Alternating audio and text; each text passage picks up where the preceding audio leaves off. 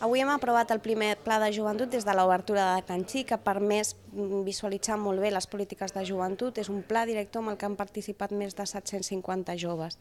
També hem fet possible que la ciutat de Viladecans comenci a generar energia a través de cèl·lules fotovoltaiques.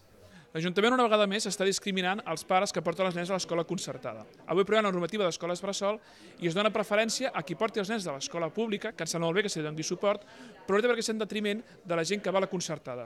Tots contribueixen igual als impostos, tots són igual de vida de canencs i realment ens sembla molt antic i molt del segle passat considerar que l'escola pública és d'una classe social i l'escola concertada d'una altra. Les dues s'han de donar suport, a les dues se les ha de finançar i donar mitjans i no es pot utilitzar les escoles bressol per començar a discriminar. Una vez más ha llevado el Pleno del Ayuntamiento a debates por el independentismo, cosas que no interesan actualmente a los ciudadanos de Viladecans y que verdaderamente al Partido Popular lo que nos importa es solucionar los temas del paro, los temas de inseguridad y que los ciudadanos cada día pues, eh, puedan vivir un poco mejor. Jo destacaria d'aquest ple doncs, l'esforç que fa l'Ajuntament a través del seva empresa Vigip per invertir les noves energies renovables. Crec que és molt destacable que l'Ajuntament assumeixi la inversió i la producció d'energies renovables en una primera fase al Cúbic i l'Atrium, amb 100 quilowatts, i també és ben cert que tenim estudiat altres promocions de fotovoltaica, de producció d'energies renovables, que segurament es farà amb la participació dels privats, no? però és important iniciar el camí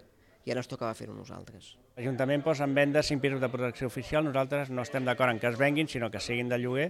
Primer, perquè no es, eh, no es, perd, es perd patrimoni eh, per part de la ciutat i, en segon lloc, perquè hi ha eh, més persones que podran gaudir eh, per aquests pisos durant, durant molt més de temps. Després estem molt contents també perquè se'ns ha aprovat una moció on, on s'aprova eh, la lliure circulació d'emissions, ja siguin per ràdio o per televisió, en tots els països catalans.